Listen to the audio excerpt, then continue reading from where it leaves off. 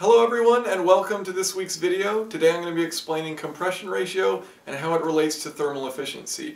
Now we're kind of just going to continue on with the theme of increasing horsepower and of course if something is more efficient it can create more power than if it was less efficient. So if you haven't watched my video on compression ratios uh, I would recommend starting there um, basically the idea of what it is and so that's a good video to check out first. I'll have a link in the description. Um, but anyways, compression ratio and thermal efficiency. So efficiency can be defined as output divided by input. So you put in X amount of work, but how much work actually do you get out of what you're doing? So uh, now thermal efficiency, basically you can represent this as 1 minus the heat transfer out divided by the heat transfer in. Now let's just kind of go over this. So you're going to put in an amount of heat into your engine. So that's what the uh, power stroke is the, the explosion or combustion of the uh, air and fuel mixture. And so however much of that heat you can turn into mechanical work is how thermally efficient this is. But you're going to lose heat. So whatever heat you lose, divided how, by how much you put in, uh, that's going to be the percent lost. So 1 minus the percent lost, and that'll give you a percentage of your thermal efficiency. So let's kind of go over the, the strokes and talk about what hap what's happening. So here we've got our compression stroke. Um, the piston goes up, it ignites the air-fuel mixture with a spark, and then the piston comes down. So this is, with these uh, four phases here, we can kind of describe what's going on with this equation. So thermal efficiency 1 minus heat transfer out divided by heat transfer in. Now heat transfer out and heat transfer in can be represented by a difference in temperatures. So the temperature of the air uh, in this uh, compression stroke and the temperature of the air in this uh, power stroke. So the power stroke temperature uh, after the power stroke is complete, once the, the piston is all the way down, uh, minus the temperature of the uh, compression stroke, the, the air-fuel mixture before the piston moves up, that's going to be this top part of the equation, the heat transfer out. Now, the way that kind of makes sense is, well, what happens here is you've got your combustion. So T3 minus T2 is before combustion and after combustion. So T3 after combustion, T2 before combustion.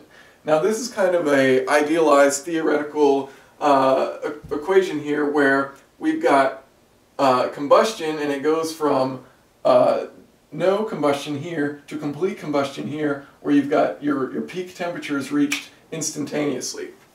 So that temperature minus uh, the temperature before that occurs is the bottom part of this equation, the heat transfer in.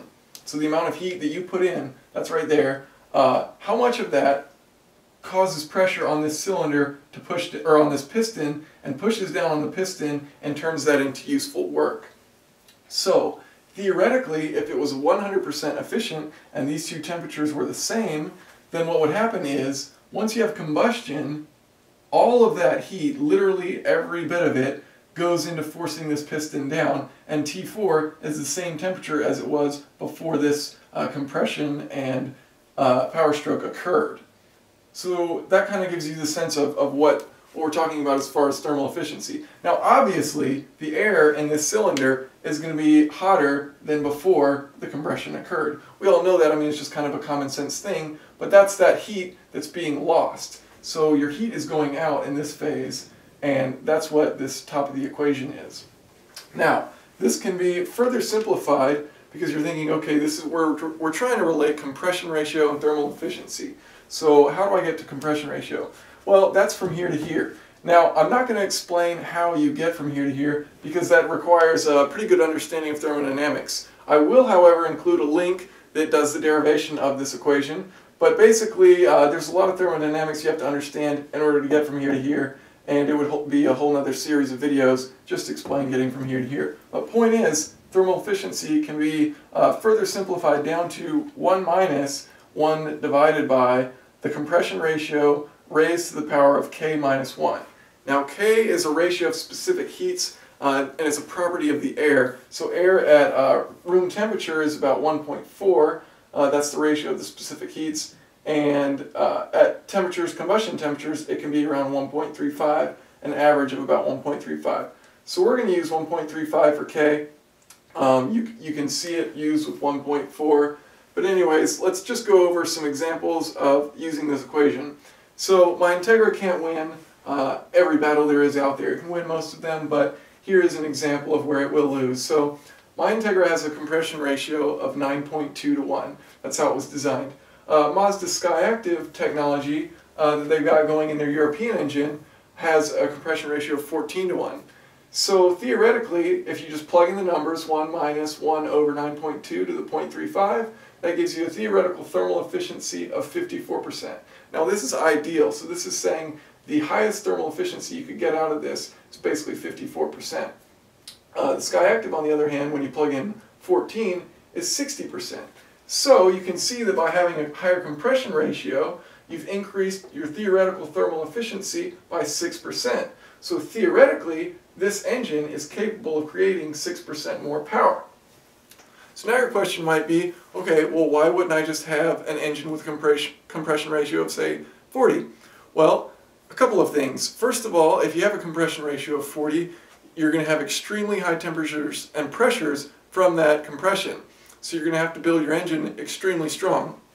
The other thing is, uh, you've got, you kind of got some diminishing returns uh, the curve of compression ratio versus efficiency kind of looks like this, where it tapers off, and you don't really gain that much from it. Um, so that's another reason, uh, is, is you're not not gonna see that big of a gain. And finally, the third reason, uh, you don't want to have knock, so you don't want your engine to ignite your air-fuel mixture before it reaches the top. You don't want to pre-ignite that mixture. So there's a couple reasons why you're not just going to have some amazingly high number like 40. But if you can do it, uh, like SkyActiv has done with uh, different technologies. Um, the exhaust is designed in order to, to help it out, as well as the uh, gasoline direct injection helps. So there's different methods in order to get higher uh, compression ratios, and that can help out with thermal efficiency, and you can ultimately have a more powerful, more efficient engine.